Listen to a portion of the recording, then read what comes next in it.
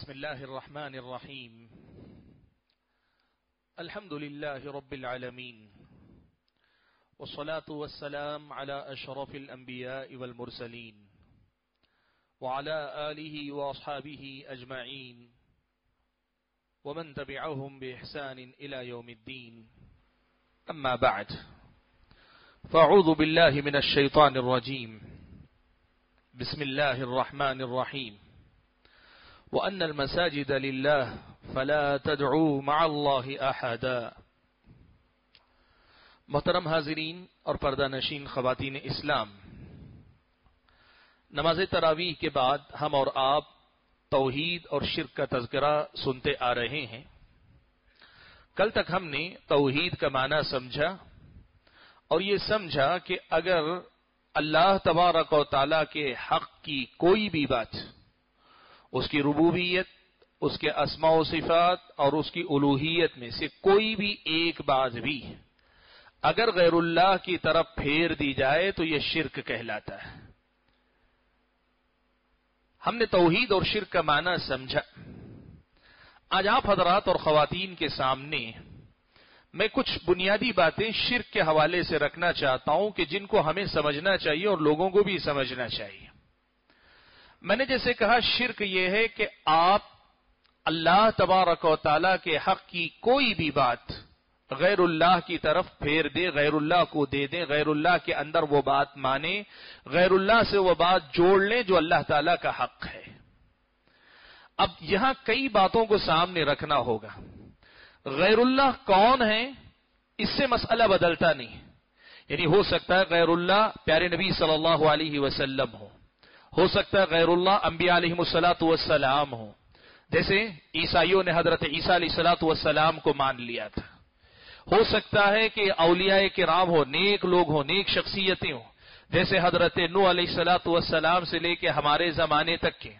یا ہو سکتا ہے کہ ایسی بزرگ اور اچھی ہستیوں کے مقابلے میں کوئی عام سی مخلوق ہو، جیسے کوئی سانپ ہو، کوئی بچھو ہو، کوئی گائے ہو، کوئی پتھر ہو، کوئی درخت ہو۔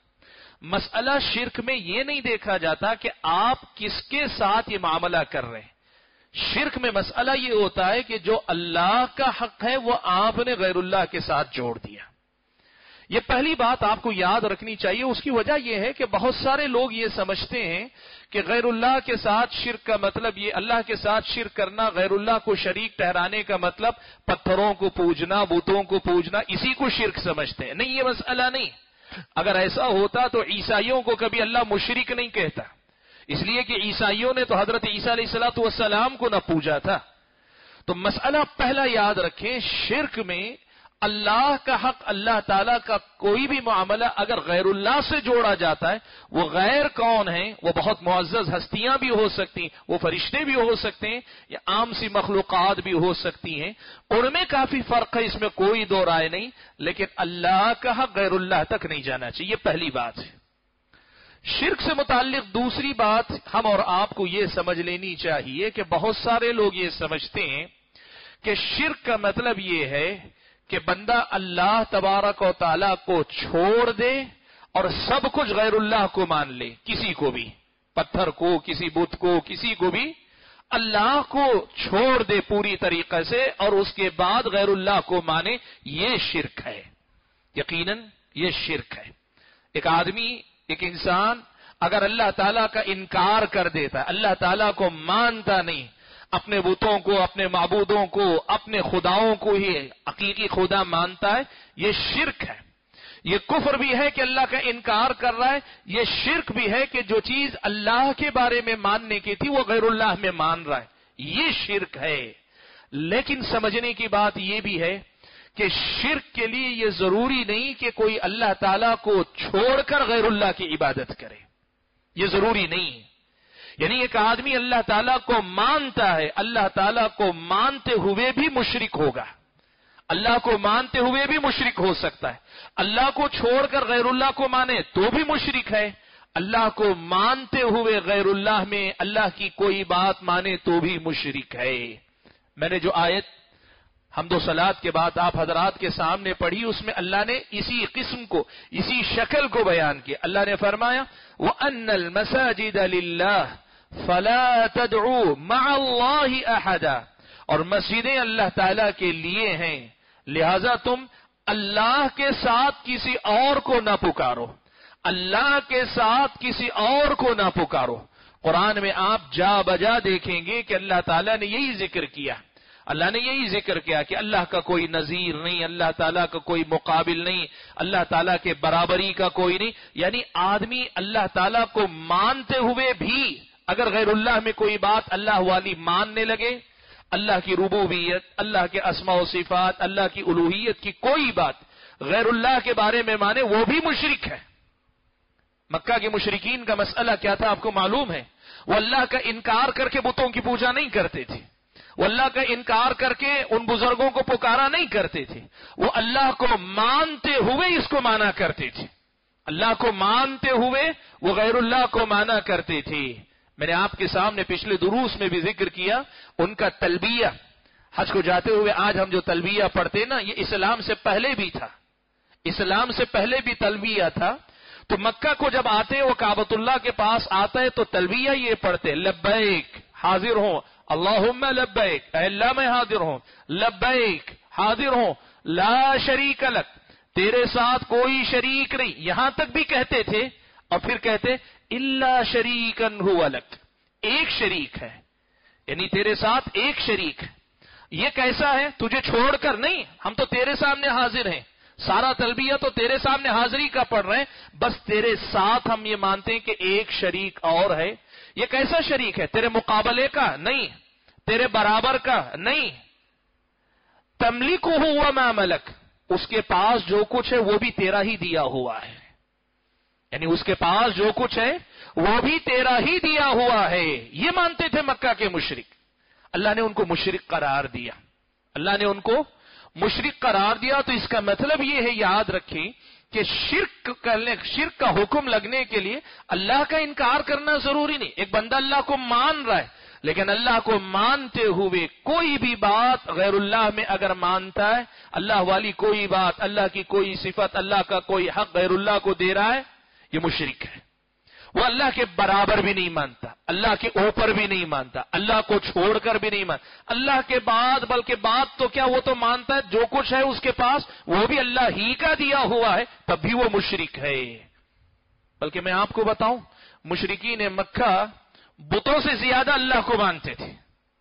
بتوں سے زیادہ ان کو اللہ پہ یقین تھا، اللہ پہ بھروسہ تھا۔ ایسا نہیں کہ وہ بتوں کو بڑا مانتے تھے، نہیں۔ اللہ پر اصل ان کا یقین تھا، ساتھ میں وہ بتوں کو مانتے تھے۔ اللہ نے قرآن مجید میں مشرقین مکہ کا ایک طرز عمل ذکر کیا کہ یہ کیا کرتے تھے؟ حالت نارمل ہوتی نا، نارمل۔ زندگی معمول کے مطابق چل رہی ہے۔ اللہ کو بھی پکارتے اور اس کے ساتھ غیر اللہ کو بھی پکارتے۔ اللہ سے بھی مانگتے، غیر اللہ سے بھی مانگتے۔ اللہ تعالیٰ کے سامنے بھی جا کے گڑ گڑاتے، غیر اللہ کے سامنے، اپنے بتوں کے سامنے، اپنی بڑے بڑے ناموں کے سب کے سامنے پکارتے۔ لیکن سمندری سفر میں جب جاتے اور بڑی بڑی جب موجیں اٹھتی، ان کو ڈر ہونے لگتا کہ اب کشتی ڈوب جائے گی، وہ سارے بتوں کو بھول جاتے۔ اللہ کے ساتھ خالص اللہ کو پکارا کرتے تھے۔ اللہ نے کہا فعیدہ روچیبو فل فل کی اللہ مخلصین الدین اللہ تعالیٰ ہی کے لیے دین کو خالص کر لیتے کہ اب کوئی نہیں، صرف اللہ تعالیٰ کو پکارتے تھے۔ جب مشکل آتی، مصیبت آتی، پریشانی آتی، صرف اللہ تعالیٰ کو پکارتے تھے۔ اور جب فلما نجا ہوں البر، اللہ تعالیٰ نجات دے دیتا، سمندر سے بچا کے باہر لے آتا، پھر واپس اسی شرک کی روش پہ چل جاتے یعنی اللہ کے ساتھ غیر اللہ کو بھی پکارنے لگتے۔ وہ معلوم یہ ہوا کہ وہ اللہ کو چھوڑ کر غیر اللہ کو نہیں پکارتے تھے۔ وہ اللہ کو مانتے بلکہ اللہ ہی کو سب کچھ مانتے ہوئے ساتھ میں اللہ تعالیٰ کے دوسروں کو مانا کرتے تھے۔ اور یہی ایک بات اور بتا دوں میں آپ کو۔ آج کے بہت سارے وہ اپنے آپ کو جو مسلمان کہتے ہیں، ان کا معاملہ الٹا ہے اللہ کے بندوں۔ کیسے؟ عام دنوں میں اللہ تعالیٰ کو بھی پکارتے ہیں، باباؤں کو، پیروں، فقیروں کو بھی یاد کرتے ہیں۔ جب بیماری ہوتی ہے، کوئی مصیبت آتی ہے وہ مسجد نہیں آتے ہیں، آستانوں پہ جاتے ہیں۔ وہ اللہ کے پاس آ کر نہیں مانگتے، غیر اللہ سے مانگتے ہیں۔ یہ تو مکہ کے مشرکوں سے زیادہ بری روش ہوئی نا۔ وہ مکہ کے مشرق کیا کرتے تھے؟ مصیبت جب آتی تھی تو وہ بھول جاتے سب۔ سارے معبود غائب ہو جاتے، صرف اللہ کو پکارا کرتے تھے۔ اور یہاں یہ صورت حال ہے کہ جب مصیبت آتی ہے اللہ کو اور بھول جاتے ہیں غیر اللہ کے پاس جاتے ہیں۔ یاد رکھیں شرک یہ نہیں ہے کہ اللہ کو چھوڑ کر غیر اللہ کو مانا جائے، اللہ سے اوپر مانے، اللہ کے برابر کا مانے، نہیں۔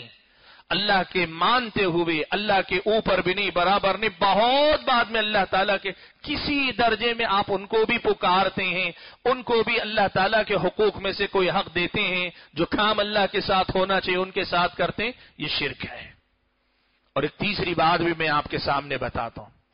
ضروری نہیں کہ ان کو خود دینے والا مان کر آدمی پکارے۔ مثال کے طور پر ولی کے پاس جا کر اولاد مانگتا ہے۔ کیسے مانگتا ہے؟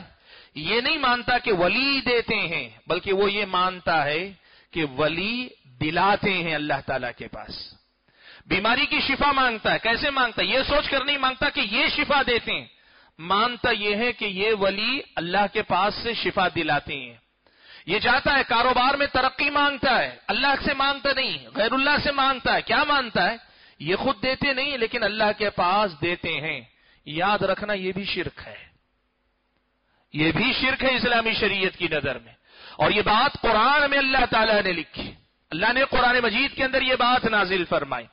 سورہ زمر کی بالکل ابتدائی آیتوں میں تیسری آیت ہی میں اللہ تعالیٰ، بلکہ سورت کی ابتدائی سے توحید کا عنوان ہے۔ آپ دیکھیں تیسری آیت میں اللہ تعالیٰ نے فرمایا الدین الخالص سنو، اللہ ہی کے لیے خالص دین ہے یعنی عبادت خالص اللہ ہی کی ہونی چاہیے۔ اطاعت و فرما برداری صرف اللہ کی ہونی چاہیے، بندگی صرف اللہ کی ہونی چاہیے۔ خالص دین دین خالص صرف اللہ ہی کے لیے۔ والذین تدعون من دونی. اللہ تعالیٰ نے فرمایا کہ للہ الدین الخالص. سنو، اللہ تعالیٰ ہی کے لیے یہ دین خالص ہے.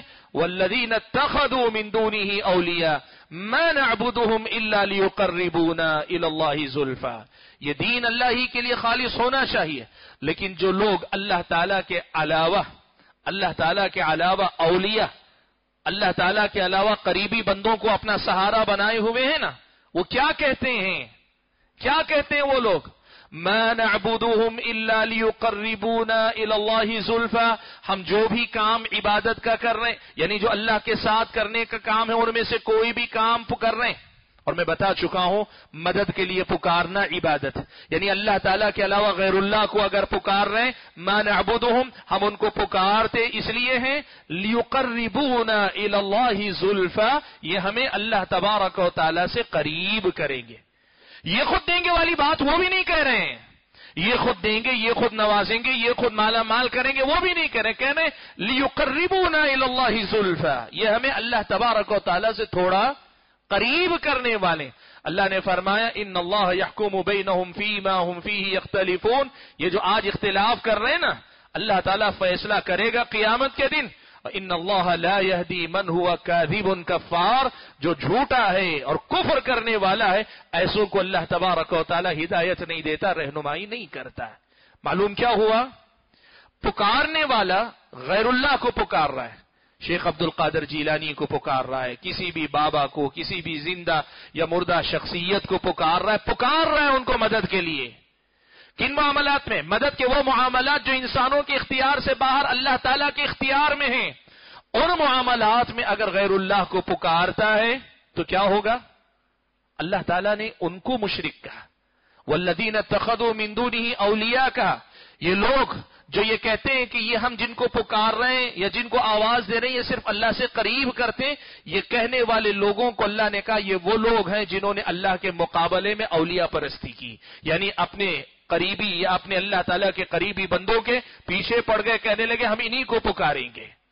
تو شرک کے لیے یہ ضروری نہیں کہ آدمی یہ مان کر پکارے کہ وہی دیتے ہیں۔ اگر یہ مان کر پکارتا، یہ تو شرک ہے ہی۔ یہ نہیں مانتا، یہ کہتا ہے وہ دلاتے ہیں، لیکن پکارتا اللہ کو نہیں، غیر اللہ کو ہے۔ آواز دیتا ان کو ہے، جاتا ان کے پاس ہے، دامن ان کے پاس پھیلاتا ہے۔ اسلامی شریعت، قرآن مجید کی عیسائیت اور دیگر آیتوں کی روشنی میں واضح طور پہ بتاتی یہ کھلے قسم کا شرک ہے۔ میں آپ کو آج کا درس اختتام کرنے سے اختتام درس کا کرنے سے پہلے ایک بڑی اہم آیت بتانا چاہتا ہوں۔ اس آیت کو یاد رکھی اللہ تعالیٰ نے روز قیامت ایک منظر بتایا ہے۔ اللہ تعالیٰ نے روز قیامت کا ایک منظر بنایا، بتایا ہے۔ جس میں اللہ تعالیٰ نے وہ تمام بنیادیں ختم کر دی جن بنیادوں پہ آج لوگ اللہ کے ساتھ غیر اللہ کو پکارتے ہیں۔ جو بھی وجہ ہے بھئی کوئی آدمی غیر اللہ کو کیوں پکارتا ہے؟ یا تو اس لیے پکارتا ہے کہ وہ سمجھتا ہے کہ یہ کسی چیز کے مالک ہیں۔ نفع و نقصان کے کسی چیز کے مالک ہیں، اس لیے پکارتا ہے۔ چلو ٹھیک ہے، کوئی جسے پکار رہا وہ مالک نہیں۔ لیکن کم از کم ملکیت میں شریک ہیں۔ اللہ کے ساتھ یہ بھی تھوڑے بہت کسی چیز کے مالک اللہ نے ان کو بھی مالک بنا دیا۔ یا یہ بھی اللہ تعالیٰ کے ساتھ مالک ہے دوسرا درجہ پوری طرح مالک نہیں، لیکن تھوڑی حصے داری ہے۔ تیسرے درجے میں آدمی کیا مانے گا؟ نہیں، مالک بھی نہیں۔ حصے دار بھی نہیں۔ لیکن اللہ تعالیٰ کی مدد کرنے والے، ہاتھ بٹانے والے، اور جب اللہ کے ہاتھ بٹانے والے اس کے وزیر ہیں، اس کے معاون ہیں، مددگار ہیں، تو ان کا بھی تو ایک وزن ہوتا ہے، اس لیے پکارے گا۔ یا تو اس لیے پکارے گا کہ یہ خود مالک مالک نہیں ہے تو شریک ہیں، ملکیت میں پارٹنر ہیں۔ یہ تیسرے درجے میں اس لیے پکارے گا کہ مالک بھی نہیں، پارٹنر بھی نہیں، سب تو اللہ ہی ہے، لیکن یہ اللہ کے مددگار ہیں۔ اب اللہ کے مددگار ہیں تو ان کی بھی اللہ کے پاس چلے گی۔ اور یہ بھی نہیں، تو پھر تیسرے چوتھے درجے میں کیا ہے؟ یہ کم از کم اتنے نیک ہیں، اللہ کے اتنے قریبی بندے ہیں کہ یہ اپنی مرضی سے میرے حق میں سفارش کر سکتے ہیں۔ یہ اپنی مرضی سے میرے حق میں سفارش کر سکتے ہیں۔ کوئی بھی غیر اللہ کو پکارنے والا، غیر اللہ سے مدد مانگنے والا، غیر اللہ کے سامنے جانے والا، غیر اللہ سے تعلق جوڑنے والا، انہی چار میں سے کسی ایک بنیاد پر قائم ہوگا یاد رکھیں آپ۔ یہ چار بنیادیں یا تو خود کو مالک سمجھتا ہوگا، یا ملکیت میں حصے دار مانتا ہوگا یعنی ان کو، یا تیسرے نمبر پہ ان کو مددگار مانتا ہوگا، یا وہ بھی نہیں تو کم سے کم اتنا مقام ہے ان کا کہ یہ اللہ کے پاس میری سفارش کر دیں گے۔ قرآن کی صرف ڈیڑھ آیت میں اللہ تعالیٰ نے کہہ دیا، یہ چاروں بنیادیں غلط ہیں۔ اللہ نے ان چاروں باتوں میں سے کوئی بات کسی کو نہیں دی۔ اللہ نے چاروں باتوں میں سے کوئی بات کسی کو نہیں دی۔ جب چاروں باتوں میں سے کوئی بات کسی کے پاس نہیں ہے، تو کسی اور کے پاس جانے، پکارنے، مانگنے، دامن پھیلانے، حاضری لگانے کا حاصل کیا ہوگا؟ آپ دیکھیں سورہ سبا کی آیت نمبر بائیس اور تیئیس ہے۔ یعنی آیت نمبر بائیس پوری، آیت نمبر تیئیس کا آدھا ٹکڑا ہے۔ دیکھیں اللہ نے فرمایا خلید الدین زہم تم مندون اللہ اللہ کے نبی، آپ کا ہی ہے۔ الدین اد الدین زم تم مندون اللہ. پکارو آج ان تمام کو جن کو اللہ تعالیٰ کے چھوڑ کر یا اللہ کے مقابلے میں تم نے پکارا تھا. جن جن کو دنیا میں بلایا تھا نا، ان ساروں کے بارے میں، ان ساروں کے بارے میں کہا جائے گا، پکارو. آج ان کی حیثیت کیا ہے؟ لا يملكون مثقال ذرة في السماوات ولا في الارض. آسمان و زمین میں ایک ذرے کے برابر کسی چیز کے مالک نہیں. کسی چیز کے، ایک ذرے برابر کسی چیز کے مالک نہیں۔ اگر مالک نہیں، اس کے بعد کا درجہ۔ وہ مال فی شرک یہ جن کو بھی تم نے پکارا نا زندگی بھر، جن کے پیچھے پکارتے رہے تھے، ان کی کوئی حصے داری بھی نہیں۔ وہ ذرہ ہے نا، وہ ذرے کی ملکیت میں بھی کوئی حصے داری نہیں ہے۔ وہ میل من ظہیر تیسری بات اللہ نے کہی، چلو، ملکیت بھی نہیں، ملکیت میں حصے داری بھی نہیں۔ مددگار ہیں کیا؟ کہا، ان میں سے کوئی اللہ کا مددگار بھی نہیں۔ اور چوتھے نمبر پہ اللہ نے کہا، ولا تنفع الشفاعة عنده الا لمن اذن له۔ سفارش بھی اللہ تعالی کے پاس کسی کی فائدہ نہیں پہنچائے گی، مگر وہ جس کو اللہ اجازت دی۔ بات بہت سادی ہے، دیکھیں۔ پکارنے والا غیر اللہ کو، شرک کرنے والا، یا تو یہ مانتا ہے کہ میرے کسی ذرے کا، میرے نفع و نقصان کا مالک، اللہ نے کہا نہیں ہے وہ۔ کہا ٹھیک ہے، مالک نہیں، مالک تو اللہ ہی ہے، لیکن تھوڑا بہت ان کو بھی اللہ نے اختیار دیا۔ لوگ کہتے ہیں، خود تو مالک نہیں، لیکن اللہ کے دینے پہ دیتے ہیں۔ اللہ تعالیٰ نے ان کو بھی دیا ہوا ہے۔ اللہ نے کہا نہیں، کوئی شراکت داری، حصے داری بھی اللہ نے کسی کو نہیں دی۔ اور کم از کم کا ٹھیک ہے، مددگار ہے، معاون ہے۔ کہا نہیں فرشتے اللہ کے حکم سے کام کرتے ہیں، لیکن اللہ کے مددگار نہیں۔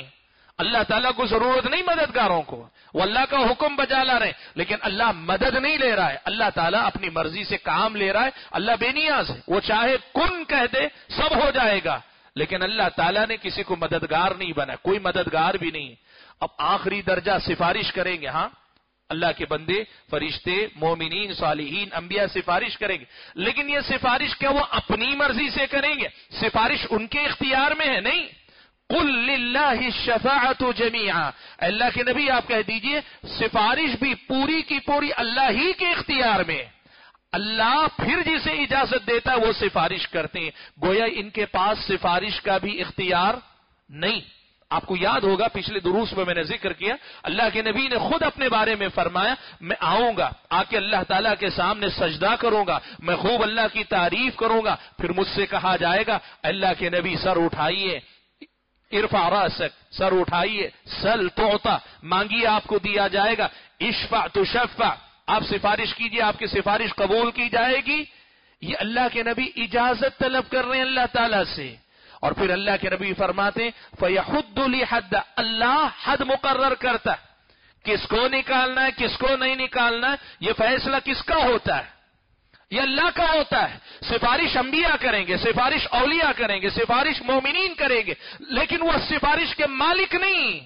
سفارش بھی اللہ کے اختیار میں ہے حاضرین گرامی، یہ بنیادی بات اگر یہ ڈیڑھ آیت، سورہ سبا کی آیت نمبر بائیس اور تیئیس کی آدھا آدھا ٹکڑا اگر یاد رہے نا، آج لوگ جن جن کے بارے میں بھی یہ عقیدہ رکھتے ہیں، وہ سارے عقیدے اللہ تعالیٰ نے ختم کر دیے۔ کہا نہیں، کوئی مالک ذرے کی بات کی، بہت بڑی دنیا نہیں، جنت اور جہنم تو بہت بڑی چیز ہے۔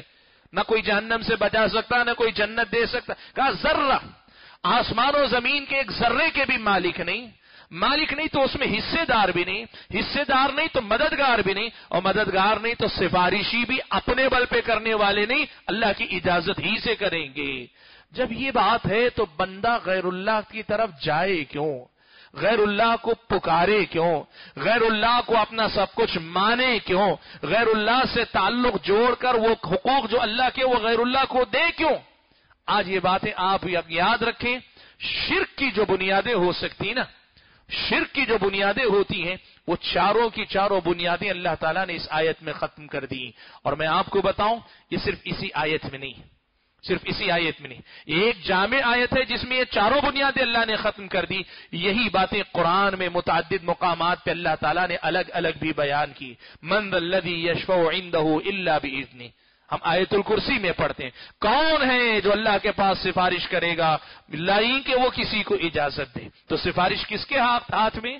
اللہ کے ہاتھ میں ہے۔ تو ہم غیر اللہ سے جا کے مانگے، آپ سفارش فرما دیجیے، آپ اللہ سے قریب کر دیجیے، آپ اللہ سے دلوا دیجیے۔ ان کے پاس ہے نہیں۔ وہ تو اللہ کے پاس ہے۔ اسی لیے ایک بات یاد رکھیں، سفارش بھی اللہ سے مانگی جائے گی۔ رسول اللہ صلی اللہ علیہ وسلم سے دنیا میں سفارش کے لیے آپ کہیں۔ وہ جب بیدار جب باحیات ہیں، آپ کہیں، مومن مسلمان سے کہیں، آپ میرے حق میں سفارش کر دیجیے زندگی میں۔ انتقال کے بعد کسی سے جا کے سفارش مانگی نہیں جاتی۔ سفارش بھی اللہ سے مانگی جاتی۔ اے اللہ تعالیٰ، پیارے نبی صلی اللہ علیہ وسلم کو ہمارے حق میں سفارشی بنا دے۔ اے اللہ تعالیٰ، نیک مومنین صالحین کو، اللہ تعالیٰ کے نیک بندوں کو ہمارے حق میں سفارشی بنا دے۔ سفارش کرنے والے اور لیکن مانگی جاتی اللہ تبارک و تعالیٰ سے۔ کیوں؟ کل اللہ شفاعت و جمیا تو آج کے درس میں جو بات میں آپ کے سامنے رکھنا چاہ رہا تھا، یہ بڑا اہم درس ہے، اس لیے کہ اب اس کے بعد جو سلسلہ شروع ہوگا، آپ اس میں دیکھیں گے، انہی بنیادوں میں سے کسی ایک بنیاد میں لوگ غلطی کریں گے۔ آج جو باتیں میں نے آپ کے سامنے رکھی انہی باتوں میں سے کسی بات میں غلطی کریں گے اور اللہ تعالیٰ کے ساتھ شرک کرنے کا دروازہ اپنے آپ پر اور امت کے لوگوں پر کھولیں گے۔ اسی لیے ضرورت اس بات کی ہے کہ ہم اور آپ ان باتوں کو سمجھیں، یاد رکھیں اور اسی کی روشنی میں سارے معبودات، سارے اللہ کے علاوہ جتنی بھی، چاہے وہ عظیم ہستیاں ہوں یا عام مخلوقات ہوں، سب سے تعلق کاٹ کر حنیفہ، اللہ کی طرف یکسو ہو جائیں، حنفہ، اللہ تعالیٰ کی طرف پوری طرح متوجہ ہو جائے اللہ ہی سے جڑ جانے والے ہم اور آپ بن جائیں۔ اللہ سے دعا کیجیے کہ اللہ تعالیٰ مجھے اور آپ کو شرک سے متعلق ان بنیادی باتوں کو یاد رکھنے کی توفیق عطا فرمائے اور انہی باتوں کی روشنی میں خود کو اور تمام مسلمانوں کو شرک سے بچنے بچانے کی توفیق عطا فرمائے۔ آمین۔ و آخر دعوانا الحمد للہ رب العالمین۔